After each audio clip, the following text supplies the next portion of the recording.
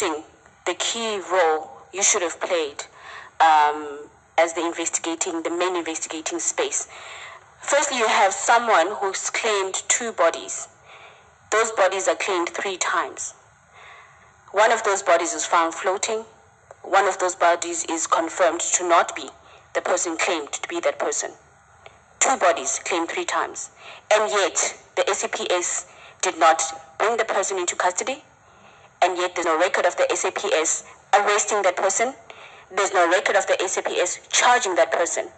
And you even have the nerve to tell us that you suspected of a body parts syndicate, but yet you did not bring that person to SAPS to say, we are suspecting that you are involved at a high level of moving human parts.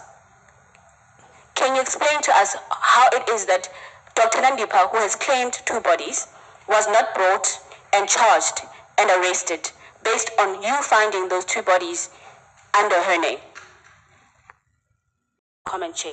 There seems to be no will from the police. It seems as if you gave this away to someone else. Your role was to investigate, make recommendations, arrest. You had information. You had forensic reports. You had answers. You had a body. You had another body. And yet you did nothing and you're telling us about an inquiry? I don't think we can accept that. And we've not been looking at you because we're busy with G4S who's taking us for a ride, whereas we've got a state entity which is supposed to protect us, not doing what it's supposed to do. So what did you expect us to do?